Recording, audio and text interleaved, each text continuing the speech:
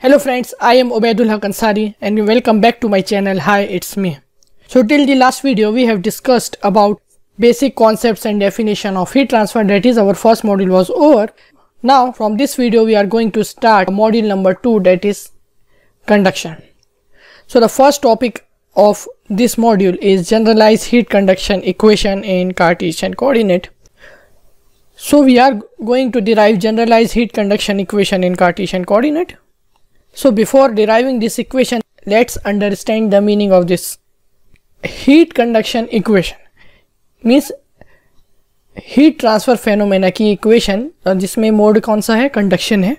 उसकी हमको generalize equation निकालना है। वरना what do mean by generalize equation मतलब ऐसी इक्वेशन जो हर केस में वैलिड रहेगी। हर सिचुएशन में कोई भी सिस्टम में जब कंडक्शन हो रहा है तो हर सिचुएशन में वो ऐसी इक्वेशन वैलिड रहेगी। So that is generalize heat conduction equation variable would be as per the Cartesian coordinates that is X Y and Z coordinates okay which is also called as rectangular coordinates okay so हम एक generalize heat conduction equation derive करने वाले हैं। ये एक ऐसी equation रहेगी जो कंडक्शन के किसी भी फेनोमेना को डिस्क्राइब कर पाएगी।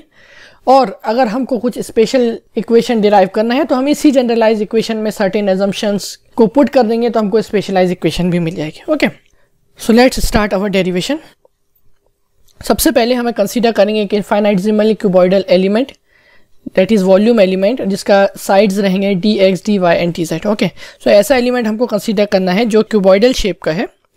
उसका साइज़ बहुत ही स्मॉल है नेग्लिजिबली स्मॉल इनफाइनाइटजिमल का मीनिंग होता है। और उसके साइड्स है D X D Y and T Z and this D X D Y and D Z are parallel to the axis X Y and Z respectively as shown in figure okay अब figure में आने से पहले एक चीज़ और assumption यहाँ पे करना है कि ये जो मटेरियल है, ये एन आइसोट्रोपिक मटेरियल है, जिसमें हम ये फेनोमेना को स्टडी कर रहे हैं।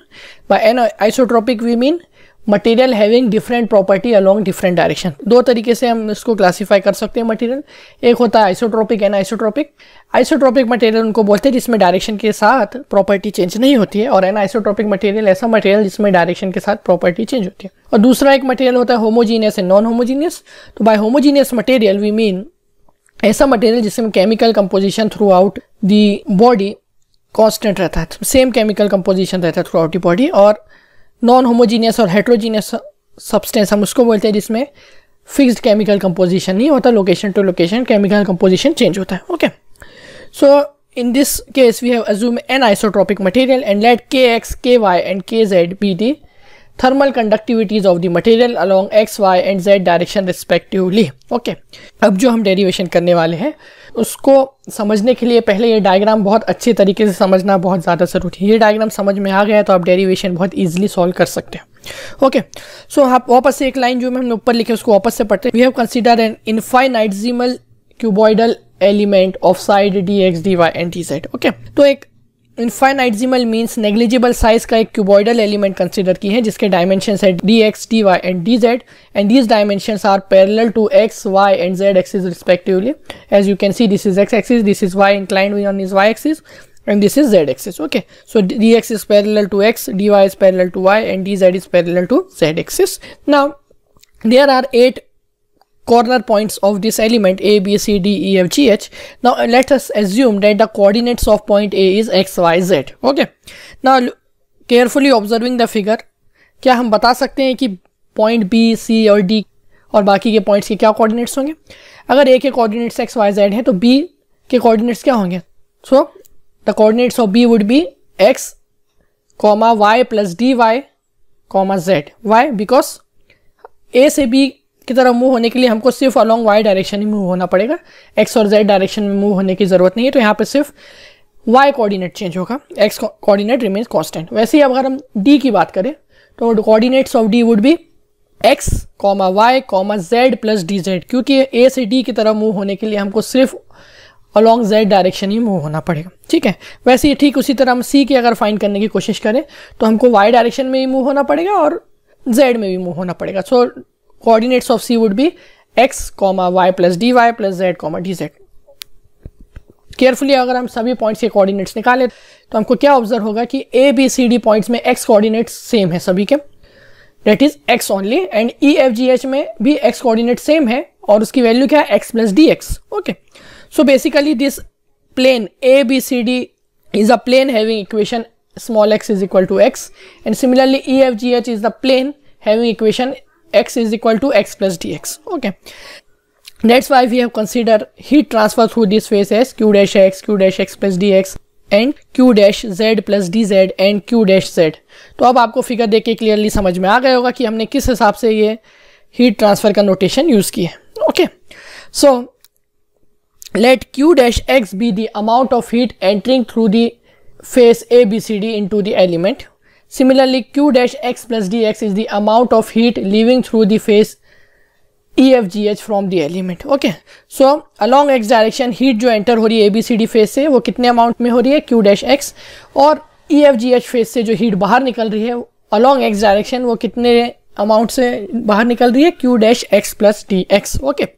Now, what is this q dash g so q dash g is nothing but amount of heat generated inside the element and q dash s is the amount of heat stored in the element okay अब इसको किस तरीके से use करना है अभी हम आगे थोड़ा सा देखेंगे हीट बैलेंस इक्वेशन में नाउ फ़र्स्ट ऑफ़ ऑल हमको एक एज्यूम करना है let q is equal to rate of heat flow in any given direction in watt और जूल पर सेकेंड तो ये हमने नोटेशन लिए हैं कि q जो है वो रेट ऑफ़ हीट फ्लो है therefore if q is rate of heat flow by rate of heat flow what we mean amount of heat flow per unit time So what would be Q dash? Q dash is amount. So it would be Q into time interval. Okay. So Q dash would be equal to Q into dt which is equal to total amount of heat flow in any direction.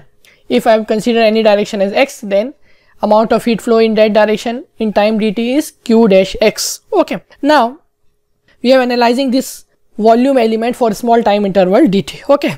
Now amount of heat flowing into the element from left face that is ABCD during the time interval dt is given by q dash x is equal to qx into dt. Okay. Now what is the mode here? That is mode is conduction. So the rate of heat transfer would be described by Fourier's law of heat conduction that is minus k a dt by dx. Okay and since we are calculating the heat transfer along x direction so we have to consider properties along x direction only that is thermal conductivity along x direction kx so we will get q dash x is equal to minus kx dy dz dy dz kaise aaya area iska area of face abcd is nothing but dy into dz okay now q dash x is equal to minus kx dy dz into del t by del x into dt. Okay. Since we are calculating heat transfer only along x direction that's why we have to consider temperature gradient only along x direction. That's why i have taken partial derivative of temperature with respect to x. And in order to calculate the amount we have to multiply it with the time. So rate into time would give us the total amount of heat transfer entering through the phase a b c d in small time interval dt now, if I want to calculate the amount of fluid which is going out of the element through the right phase EFGH, then that can be obtained by Taylor series expansion which is as follows q dash x plus dx is equal to q dash x plus del by del x of q dash x into dx plus second order derivative of q dash x into dx square by 2 factorial plus third order derivative of q dash x into dx cube by 3 factorial and so on. Okay. Now, since this element is infinitesimal cuboidal element means it is negligibly small size element. So dx dy and dz these dimensions are very very small. Therefore taking the square and cubes of this dimension would give us very low value and further dividing it with 2 factorial and 3 factorial would give further low value of this term. So these higher order terms would be negligible as compared to first two terms. Okay so we will neglect higher order terms for small values of dx, dy and dz. So what we will get? We will get q dash x plus dx is equal to q dash x plus del by del x of q dash x into dx. So this is the equation of heat leaving from the phase EFGH. Okay. Now this amount of heat is entering into the element through phase ABCD and along x direction and this amount of heat is leaving the element through phase EFGH along x direction. So what is the net heat accumulated along x direction? So net heat accumulation in the element due to heat flow in x direction is given by heat input minus heat output. So heat input is q dash x minus heat output is q dash x plus dx. Okay. Now putting the value of q dash x and q dash x plus dx what we will get? We will get this equation that is minus del by del x of q dash x into dx. Now what is q dash x here? We have to put the value of q dash x from the equation 1 that is minus kx dy dz del t by del x into dt. Now putting the value of q dash x from equation 1.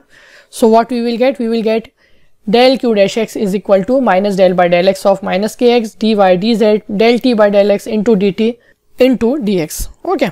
Now we have to derivate this curly bracket term with respect to x partially. Okay. Now what are the terms which are constant here? So dy dz and time dt these are independent terms which are not dependent on variable x. So we can take it out from the derivative sign. So at the end what we will get? We will get dq dash x is equal to del by del x of kx del t by del x into dx dy dz and dt. Okay. Now thermal conductivity can change with respect to x direction because this material is anisotropic. Okay and similar equation if we want to find along y and z direction also then we can find it. And the values are as shown in equation 3 and 4 okay. Now what is the net heat accumulated inside this element? So it would be net heat accumulation along x direction plus net heat accumulation along y direction plus net heat accumulation along z direction. That is dq dash x plus dq dash y plus dq dash z. Summation of these three equation will give us the net heat accumulation inside the element. Let it is noted by q dash a. So adding all these three terms what we will get? We will, we will get q dash a is equal to del by del x of kx into del t by del x into dx dy dz dt plus del by del y of ky into del t by del y into dx dy dz dt plus del by del z of kz del t by del y into dx dy dz dt. Okay. Now this is the first part that we have calculated the net heat accumulation inside the element अब हमको calculate करना है internal heat generated inside the element so for that let's assume Q G be the internal heat generated inside the element per unit volume per unit time okay अब ये जो हम बात कर रहे हैं कि एलिमेंट के अंदर हीट जनरेट हो रही है internal heat generated inside the element वो किस वजह से हो रही है? What could be the reason of internal heat generation inside the element तो उसके तीन चार रीजन हो सकते हैं. फ़र्स्ट रीजन हमने कोई इलेक्ट्रिकल हीटर एलिमेंट के अंदर इंस्टॉल की है. या फिर कोई करंट कैरिंग कंडक्टर है जिसमें से करंट फ्लो हो रहा है तो उसके आई स्क्र आर लॉसेस हो रहे हैं. या फिर कोई ऐसा मटेरियल के अंदर न्यूक्लियर फ्यूजन या न्यूक्लियर फ्यूजन प्रोसेस हो रही है जिसकी वजह से हीट जनरेट हो रही है सिस्टम के अंदर. या फिर कोई एक्जोथर्मिक केमिकल रिएक्शन हो रही है सिस्टम के अंदर जिसकी वजह से हीट जनरेट हो रही है मटेरियल में. So this are some of the reason for internal heat generation inside the element. So for time being let us assume that small qg be the internal heat generated per unit volume per unit time. So what will be the total heat generated inside the element? So, हमको per unit time और per unit volume को eliminate करना in order to calculate total heat generated तो simply क्या करना पड़ेगा? Small q जी को हमको मल्टीप्लाई करना है वॉल्यूम से और टाइम से. हम ये एनालिसिस कितने टाइम इंटरवल के कर रहे हैं? For d t time interval and what is the volume of this cuboidal element तो volume of the cuboidal element is nothing but length into width into height that is d x into d y into d z okay so, from this, what we will get? We will get total heat generated in element in dt time is equal to small d z into d t okay अब इतना सब in and out process हो रही है यहाँ पे system में। बहुत से फेसेस से हीट अंदर आ रही है, बहुत से फेसेस से हीट बाहर जा रही है। और उसके अलावा हम मटेरियल के अंदर इंटरनली भी हीट जनरेट हो रहे हैं। तो ये सब इन एंड आउट होने के बाद what would be the net effect there would be a certain heat which will be stored inside the element okay now what is the amount of heat is stored in the body in time dt that will be described by this equation q dash s is equal to mcp delta t okay okay, तो ये equation हमने thermodynamics में पढ़े हैं where CP is the specific heat of the solid तो दो type के specific heat होते हैं एक specific heat at constant pressure and दूसरी होती है specific heat at constant volume तो सीवी वाली जो स्पेसिफिक हीट है, वो हम नॉर्मली गैसेस के लिए नॉन फ्लो प्रोसेस में ही यूज़ करते हैं। बाकी solids liquids and gases in flow process we will use specific heat at constant pressure only okay so from this equation what we will get m c p delta t ना what is mass of the substance mass of the substance is nothing but density into volume of the substance let density of the element is rho and volume is d x d y d z and what is del t? Del t is the change in temperature. Okay. Now, del t by del small t is the rise in temperature per unit time. That is rate of change of temperature. Okay. But हमको यहाँ पे actual temperature change चाहिए delta t तो ये तो हमको rate of change of temperature मिल गया. तो actually time d t interval में कितना टेम्परेचर चेंज हो रहा है? तो उसके लिए हमको रेट को टाइम से मल्टीप्लाई करना पड़ेगा. That's why I have also included here d t So temperature changes del capital T by del small t into dt. That is this complete term will give us the temperature change inside the element for small time interval dt. Okay. Now by energy balance what we will get a plus b is equal to c that is total heat accumulated due to conduction plus total heat generated within the element would be stored inside the element okay so a plus b would be equal to c तो जितनी भी heat accumulation होगी due to conduction plus जितनी भी heat system में generate हो रही है that would be stored inside the element okay so putting the values of energy stored energy generated and energy accumulated what we will get we will get this equation okay now divide both side by dx dy dz and dt. Then we will get finally this equation which is generalized heat conduction equation for an isotropic material in three dimension with internal heat generation. So this is our generalized heat conduction equation in cartesian coordinates. That is in terms of x y and z space variables.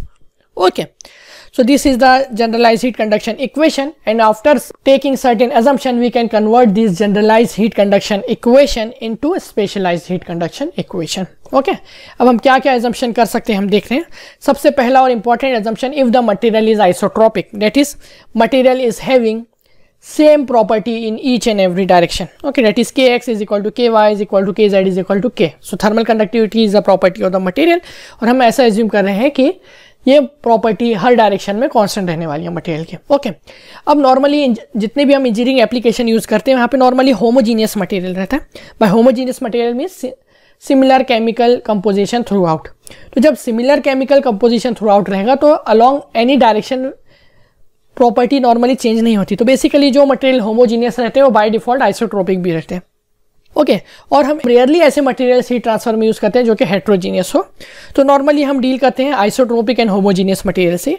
तो इस generalize heat conduction equation को हम थोड़ा सा एक assumption करके दूसरी एक और generalise heat conduction equation for isotropic material निकाल लेते हैं पहले। So if the material is isotropic then k would be constant so अगर के कांस्टेंट है तो हमको डेरिवेटिव के बाहर हम उसको ले सकते हैं। तो इन फ़र्स्ट टर्म थ्री टर्म्स में से के बाहर आ जाएगा। तो what we will get k into del square t by del x square plus del square t by del y square plus del square t by del z square plus qg is equal to rho cp del capital D upon del small t. Now dividing both side by k, what we will get? Del square t by del x square plus del square t by del y square plus del square t by del z square plus qg by k is equal to rho cp by k into del capital T by del small t. And finally, if we replace k by rho cp by alpha, which is nothing but thermal diffusivity, तो thermal diffusivity की definition होती है it is ratio of thermal conductivity to the volumetric heat capacity k by rho c p तो यहाँ से हम alpha से उसको रिप्लेस कर सकते हैं। तो हमको finally generalise heat conduction equation in Cartesian coordinate for isotropic material in three dimension with internal heat generation हमको मिल जाएगा। तो ये दो इक्वेशन इंपॉर्टेंट है। डेरिवेशन पॉइंट ऑफ़ व्यू से। तो आपको यहाँ तक तो एटलीस्ट सॉल्व करना है अगर एग्ज़ाम में आए तो। बाकी के एग्ज़ाम में और क्या चीज़ पूछ रहा है या फिर आपको दूसरे डेरिवेशन सॉल्व करने के लिए कौन सी इक्वेशन यूज़ होने वाली है तो उसके लिए हम ये इस बेसिक इक्वेशन को ही मॉडिफाई करने वाले हैं सेकेंड वाले इक्वेशन ठीक है? तो let us do certain assumption and modify this general equation so second assumption is there is no internal heat generation so अगर मटेरियल में इंटरनल हीट जनरेशन नहीं होगा तो what would be the value of q g it will be equal to zero so So what equation we will get? Del square t by del x square plus del square t by del y square plus del square t by del z square is equal to 1 by alpha del capital T by del small t. And these three terms can be replaced by single term that is delta square where delta is also called as Laplace operator. And if the equation is in this form then this equation is also called as Fourier's equation. Okay. So Fourier's equation is defined for heat conduction equation without internal heat generation okay. Now, next assumption. If the flow is steady state. Okay. कोई भी process steady state हम कब बोल सकते हैं? जब time के साथ कोई पैरामीटर चेंज नहीं हो रहा तो अगर सिस्टम में स्टेडी स्टेट हीट फ्लो हो रहा है मतलब उसमें किसी भी पॉइंट में टेम्परेचर टाइम के साथ चेंज नहीं होगा। So del capital t by del small t would be zero for steady state heat flow so equation किस तरीके से चेंज होगी? Del square t by del x square plus del square t by del y square plus del square t by del z square plus q g by k is equal to zero so this equation is also called as Poisson equation next assumption steady state heat flow without internal heat generation अगर, यानी steady state भी है और internal heat generation भी नहीं है मतलब q g भी ज़ीरो है del capital t by del small t भी ज़ीरो है। तो what you will get we will get this equation that is summation of first three term, del square t by del x square plus del square t by del y square plus del square t by del z square is equal to zero. तो similarly हम बहुत सारे assumption और कर सकते हैं. For example steady state one dimension heat transfer with internal heat generation and one dimension we have consider only along x direction तो y और जेड कंपोनेंट के रिस्पेक्ट में भी टेम्परेचर चेंज नहीं होगा. So del square t by del y square and del square t by del z square would also भी zero और internal heat generation रहेगा तो क्यू जी ज़ीरो नहीं होगा और स्टेडी स्टेट है तो del capital t by del small t zero हो जाएगा। Similarly steady state one dimension heat transfer without internal heat generation we will get this equation del square t by del x square is equal to zero then steady state two dimension heat transfer without internal heat generation we will get this equation and similarly this equation can be converted in number of specialise equation by considering the assumption as per our requirement. Okay. Like for example for unsteady state one dimension heat transfer without internal heat generation we will get this equation because there is no internal heat generation so qg will be 0 and for one dimension only along x direction the temperature would not change with respect to y and z. Therefore del square t by del y square and del square t by del z square in the above equation would become 0 okay so in this way this generalized heat conduction equation can be converted into number of special cases and we can utilize this generalized heat conduction equation in order to find the temperature distribution equation in our special case by considering the assumption okay so based on that हम अभी next एक और derivation करने वाले हैं हम plane wall के लिए टेम्परेचर डिस्ट्रीब्यूशन इक्वेशन और हीट ट्रांसफ़र रेट निकालने वाले हैं अभी ठीक है? तो यहाँ तक कंप्लीट हो गया हमारा derivation of generalise heat conduction equation तो एग्ज़ाम में अगर आपको आया तो आपको सिर्फ़ यहाँ तक इफ़ मटेरियल इज़ आइसोट्रोपिक तक, इस इक्वेशन तक ही सॉल्व करना है। और अगर इन केस कुछ पूछा है इसमें कि also reduce this equation for one dimensional steady state heat transfer और अप टू वन डायम और two dimensional steady state heat transfer without internal heat generation जिस तरीके से भी क्वेश्चन में पूछा उसके हिसाब से आप मॉडिफाई इस इक्वेशन को कर सकते हैं और डेरिवेशन को फर्दर आगे बढ़ा सकते हैं। अगर कुछ भी नहीं दिया तो आपको सिर्फ़ डेरिवेशन यहीं तक ही एग्ज़ाम में सॉल्व करना है। Okay then so our next topic is one dimensional steady state heat conduction through plane wall without internal heat generation. Okay. So ये हमको एनालिसिस करना है। तो हमको सिलेबस में तीन ही ज्योमेट्री के नॉर्मली एनालिसिस है। एक है प्लेन वॉल दूसरा है होलो सिलेंडर और तीसरा है hollow sphere okay so plane wall cylinder और स्फीयर यही तीन ज्योमेट्री हमको स्टडी करना है।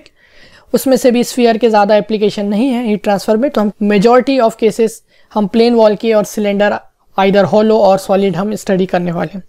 So first we will study about the plane walls so तो हमको यहाँ पे प्लेन वॉल का एनालिसिस करना है।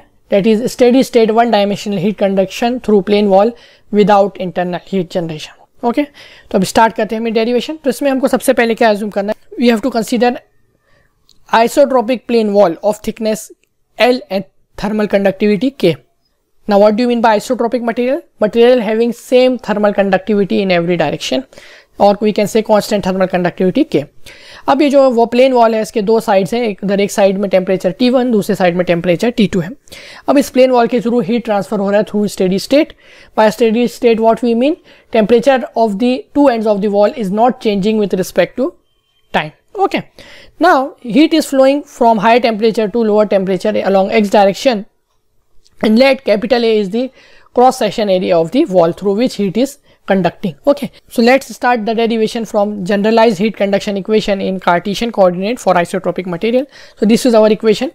Del square t by del x square plus del square t by del y square plus del square t by del z square plus qg by k is equal to 1 by alpha del capital T by del small t ना one by one हमको assumption करना है और इस equation में उसकी values put करना है।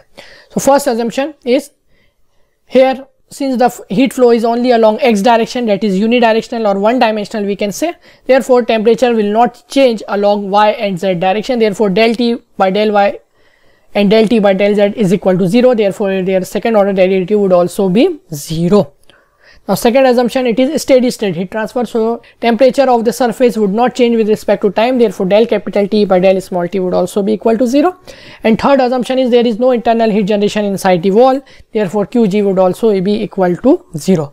Now putting all the assumption in equation number 1 then what we will get? We will get del square T upon del x square is equal to 0. अब इस इक्वेशन को हमको दोनों साइड से इंटीग्रेट करना है so since the derivative and integral function are reciprocal of each other तो जब हम इंटीग्रेशन लेंगे तो इसमें एक डेरिवेटिव फ़ंक्शन और एक इंटीग्रेशन फ़ंक्शन कैंसिल हो जाएगा। So we will get del t by del x is equal to zero and plus integration constant c one okay we we can rearrange the term, that is, del t is equal to c1 into delta x and again integrating both sides.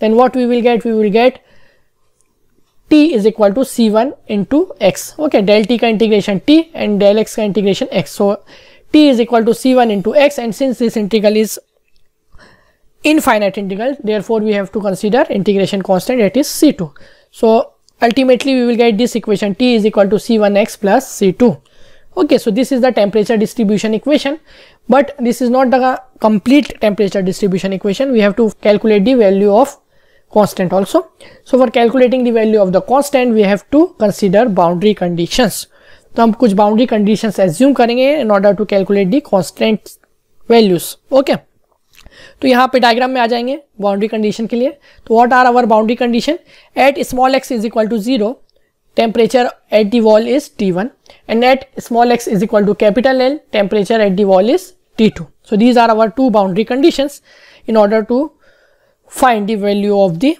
constant C1 and C2. So first boundary condition at x is equal to 0, t is equal to t1. So put कर देंगे यहाँ पे इस equation में condition तो t is equal to t1, c1 into 0 plus c2. By solving this, we what we will get? We will get c2 is equal to t1. Now second boundary condition at x is equal to L, t is equal to t2. So what we will get t2 is equal to c1 into L plus c2 but instead of writing c2 here I can write t1 because c2 is nothing but t1. So on solving we will get equation of c1 as t2 minus t1 divided by L. Now from equation 3 and 4 put the value of c1 and c2 in equation number 2 then we will get the temperature distribution equation as t is equal to t2 minus t1 into L into x plus t1 okay so this equation that is equation number 5 represent temperature distribution equation for steady state one dimensional heat flow through plane wall with no internal heat generation.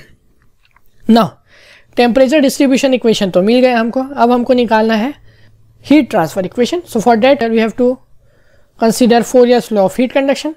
So as per Fourier's law Q is equal to minus k del T by del X. अब यहाँ पे चाहे तो आप d t by d x लिखो या del t by del x उससे कुछ फ़र्क नहीं पड़ता क्योंकि इस केस में हमने already steady state one dimensional heat transfer assume किए हैं। तो temperature is function of x only तो जब एक ही वेरिएबल है तो चाहे पार्शियल डेरिवेटिव ले या टोटल डेरिवेटिव ले, उससे कुछ फ़र्क नहीं पड़ता।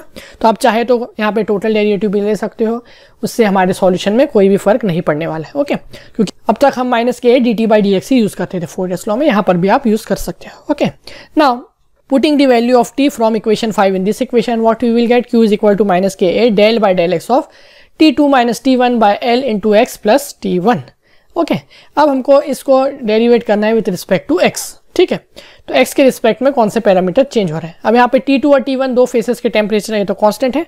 L भी कांस्टेंट है thickness of the plane walls only variable parameter here is x. So on solving what we will get minus k A T two minus T one by L constant बाहर आ जाएगा और x का derivative one और plus T one का derivative would be zero so at the end what we will get we will get equation q is equal to minus k A T two minus T one by L और अगर minus sign से अंदर multiply कर देते हैं तो q is equal to T one minus T two upon L by k उसको इस तरीके से भी लिख सकते हैं। And what is the general equation of q q is is nothing but delta T by R thermal where R thermal is thermal resistance so comparing this two terms what we will get we will get thermal resistance of plane wall as L by k A तो ये हमने जब electrical analogy पढ़े थे वहाँ पर भी हमने प्लेन वॉल का एग्ज़ाम्पल देखे थे तो वहाँ पर भी कुछ ऐसे ही थर्मल रेजिस्टेंस की इक्वेशन आई थी। तो ये इक्वेशन हम यहाँ से भी वेरीफाई कर लिए हैं। अगर हम जनरलाइज हीट कंडक्शन इक्वेशन लेकर भी सॉल्व करते हैं तब भी प्लेन वॉल की यही इक्वेशन मिल रही है जो हमको इलेक्ट्रिकल एनोलॉजी से मिली थी। ठीक है?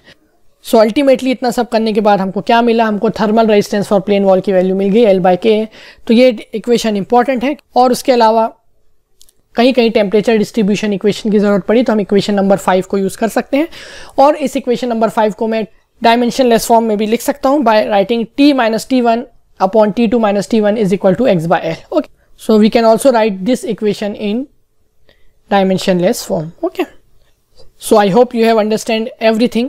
If you still have any doubt, you can post it in the comment section.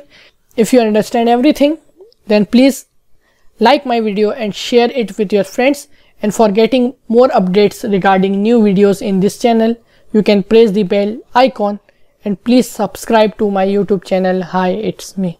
Thank you.